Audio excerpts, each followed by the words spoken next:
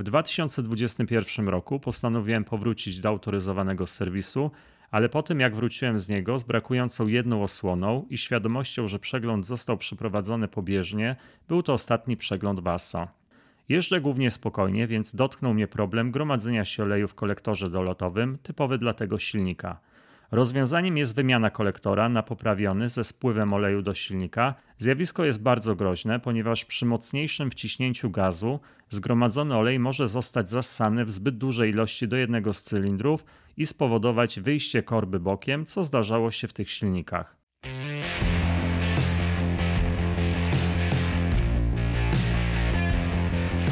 Witajcie w kolejnym odcinku na kanale R2D. Bohaterem tego odcinka będzie prezentowany samochód Ford Focus 1.5 EcoBoost z 2016 roku, 150 koni mechanicznych z przebiegiem 81 tysięcy km. Cel główny odcinka to sprawdzenie w jakiej kondycji jest olej, który pracował w tym samochodzie. Wyróżnikiem tego odcinka będzie pomiar dwóch próbek oleju przepracowanego, jedna pobrana z kolektora, druga z misy. Wynik testu dla oleju z kolektora w zamyśle właściciela ma odpowiedzieć na pytanie, czy montować oil catch tank. Inicjatorem tego eksperymentu jest Krzysztof. Na ekranie prezentuje podstawowe informacje o nim, jego wiek, miejsce zamieszkania oraz preferencje dotyczące wymiany oleju silnikowego. Krzysztof skierował do laboratorium R2D taką oto przesyłkę. Dziękuję za przemyślaną formę wysyłki. Otwarcie trzech próbek poniżej minuty to sygnał, że jest smart, szybko, prosto i skutecznie. Bardzo doceniam. W środku znajdują się trzy pozycje. Próbka numer 1 to olej świeży, kilka informacji na opakowaniu, reszta szczegółów za chwilę. Próbka numer 2 to olej przepracowany po przebiegu 4800 km. Co ważne do podkreślenia, próbka pobrana z kolektora.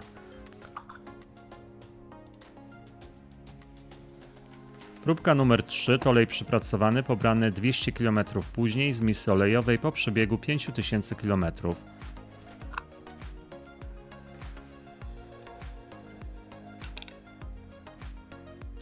Do samochodu zalany został olej Valvoline Syn Power w klasie lepkościowej 5W20. Klasy jakościowe oraz aprobaty wpisujemy do tabeli zbiorczej, nie było stosowanych żadnych dodatków. Jeśli chodzi o książkę serwisową i część powiązaną z olejem silnikowym, to wygląda to następująco. Przebieg badanego oleju to odpowiednio 4817 km i 5043 km. 90% eksploatacji to miasto, 10% trasa. Dominują odcinki nieprzekraczające 10 km. Została wykonana dolewka 300 ml świeżego oleju. W ramach dodatkowych informacji Krzysztof napisał tak. Samochód zakupiony w 2020 roku od pierwszego właściciela z przebiegiem 55 tysięcy km. Przebieg głównie autostradowy. Poprzedni właściciel serwisował samochód Vaso, wymieniając olej zgodnie z zaleceniami serwisu, stosując oleje Long Life. Ja z powodu pandemii przerwałem to i wymieniłem olej we własnym zakresie. W 2021 roku postanowiłem powrócić do autoryzowanego serwisu, ale po tym jak wróciłem z niego z brakującą jedną osłoną i świadomością, że przegląd został przeprowadzony pobieżnie, był to ostatni przegląd WASO. Olej zmieniam co roku jesienią. Moje przebiegi to około 5000 km rocznie i są to głównie trasy bardzo krótkie po mieście i raz na tydzień lub dwa wypad do rodziny około 50 km w jedną stronę. Jeżdżę głównie spokojnie, więc dotknął mnie problem gromadzenia się oleju w kolektorze dolotowym, typowy dla tego silnika. Rozwiązaniem jest wymiana kolektora na poprawiony ze spływem oleju do silnika, której dokonałem dwa tygodnie temu. Przed wymianą odessałem cały olej z kolektora i było tego około 300 ml. Zjawisko jest bardzo groźne, ponieważ przy mocniejszym wciśnięciu gazu zgromadzony olej może zostać zassany w zbyt dużej ilości do jednego z cylindrów i spowodować wyjście korby bokiem, co zdarzało się w tych silnikach. Ja niejednokrotnie podczas gwałtownego przyspieszania spotkałem się z zasysaniem tego oleju do cylindrów, co objawiało się dziwnym terkotaniem silnika, jednak ja to interpretowałem jako LSPI i po prostu odpuszczałem gaz. Prawdopodobnie to do tej pory ratowało mnie przed wymianą silnika. Nie będąc świadomy prawdziwej przyczyny tego zjawiska, jedyne co robiłem to tankowałem paliwo premium i wlewałem do zbiornika raz na jakiś czas specyfiki do czyszczenia komory spalania i zapobiegające LSPI. Przesyłam trzy próbki oleju, świeży z poprzedniej wymiany, który jeździł w bagażniku przez ostatni miesiąc, zużyty pobrany podczas ostatniej wymiany z misy olejowej oraz ten odessany z kolektora. Celem eksperymentu z badaniem ostatniej próbki jest dowiedzieć się, czy olej, który obecnie wraca już z kolektora do silnika, nie jest na tyle zdegradowany, że lepiej go wyłapać oil catch tankiem. Jest też możliwość, że ten olej jest mieszanką zgromadzoną z poprzednich lat, jednak od wymiany do wymiany dolewam właśnie około 300 ml oleju, więc podejrzewam, że na bieżąco jest konsumowany w trakcie eksploatacji. Przy ostatniej wymianie nadzwyczaj śmierdzi paliwem. Nawet jak w pomieszczeniu, gdzie leżała tylko ścierka użyta do przetarcia miski olejowej, było dosyć mocno czuć ten zapach. Olej jest też bardzo czarny i chyba zbyt rzadki jak na tak krótki przebieg i czas przebywania w aucie. Przechodzimy do badań laboratoryjnych. Najpierw pomiar oleju świeżego, w tle podczerwień, w drugiej kolejności próbka oleju przepracowanego pobrana z kolektora, a na końcu próbka oleju przepracowanego pobrana z misy olejowej. Zapraszam do wspólnego eksperymentowania.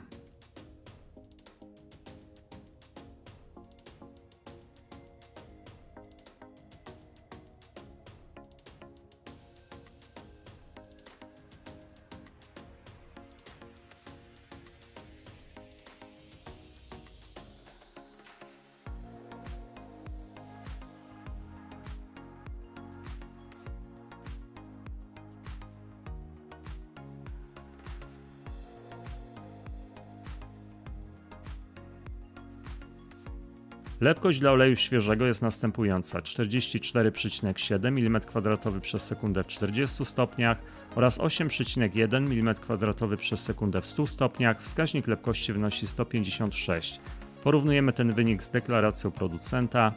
Obserwujemy zgodność przeciętną. W niższej temperaturze różnica na poziomie 6%. Przechodzimy do pomiaru lepkości oleju przepracowanego. Próbka pobrana z kolektora. Zapraszam.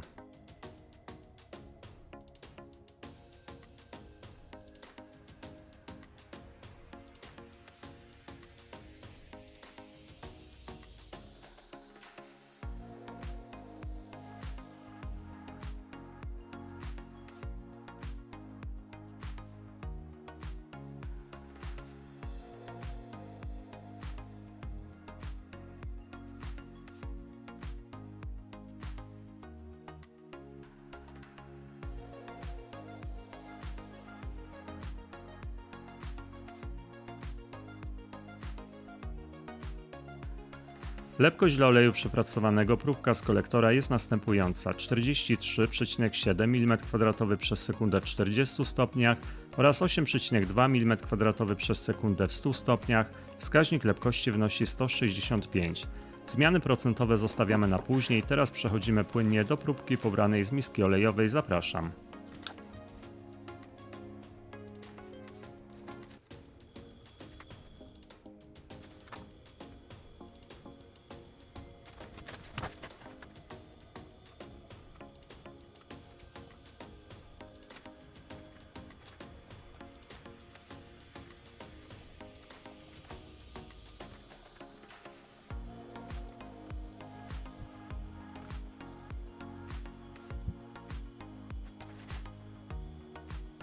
Lepkość dla oleju przepracowanego próbka z misy jest następująca.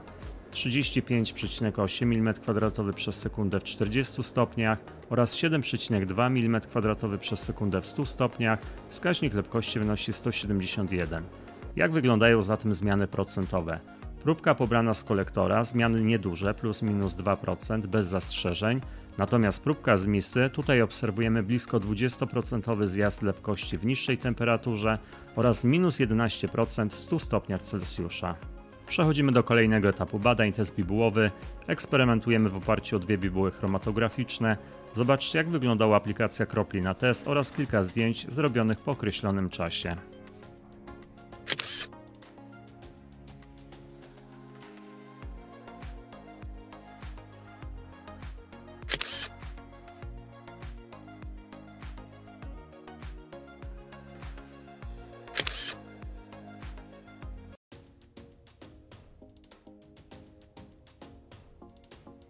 Oglądamy plamę z różnych perspektyw oraz przy wykorzystaniu dodatkowego podświetlenia. Oceniamy najpierw pod kątem różnicy między dwoma próbkami. Tutaj można zauważyć wyższy stopień degradacji dla próbki oleju z misy olejowej, więcej zanieczyszczeń, niższa jakość ogólna oleju. Jeśli chodzi o skalę degradacji tych próbek, to plasowałbym te wyniki w środku skali, czyli stan przeciętny. Przechodzimy do podczerwieni, rejestrujemy widma, oceniamy poziom degradacji oleju przepracowanego, odejmujemy widmo oleju świeżego od widma oleju przepracowanego, żeby sprawdzić poziom zmian w wyniku rzeczywistej eksploatacji. Operacja zarówno dla jednej, jak i drugiej próbki oleju przepracowanego. Zestawienie tabelaryczne widzicie teraz na ekranie. Degradacja dodatków nieco wyższa dla próbki z misy. Zanieczyszczeń obserwujemy również więcej dla próbki z misy. Poziomy stopnia sulfonowania i nitrooksydacji również gorzej wypada próbka oleju z misy. Natomiast nie są to duże różnice, jeszcze raz zaznaczę. Oksydacja podobne wartości i zdecydowanie więcej paliwa dla próbki oleju z misy, co tłumaczy zjazd lepkości. Podsumowując, obserwujemy ewidentne zróżnicowanie dla przesłanych próbek. W sposób szczególny widoczne to było w teście lepkościowym oraz w kilku miejscach na widmie. Sumaryczna wartość wskaźnika opisującego jakość oleju z kolektora to 89%, natomiast z misy olejowej 82%, czyli olej z kolektora jest jeszcze w całkiem dobrej kondycji, natomiast analiza oleju z misy sugeruje, że zmiana wykonana w bardzo dobrym momencie. W tym przypadku przebieg 5000 km to maks dla tego połączenia, ten olej plus ten samochód plus te warunki eksploatacji. Dziękuję za wspólne eksperymentowanie. Z góry dziękuję za aktywność na kanale, bo jest ona bardzo ważna. Komentarz, łapka w górę, subskrypcja kanału to sygnały dla mnie, że prowadzone eksperymenty spotykają się z Waszym zaciekawieniem. Zapraszam osoby zainteresowane udziałem we wspólnym eksperymentowaniu do kontaktu mailowego. Znajdziecie go w opisie filmu. Dziękuję wszystkim patronom kanału za wsparcie inicjatywy prowadzenia eksperymentów na platformie YouTube. Wszystkich zainteresowanych zapraszam do tego grona. Do usłyszenia w następnym odcinku. Cześć!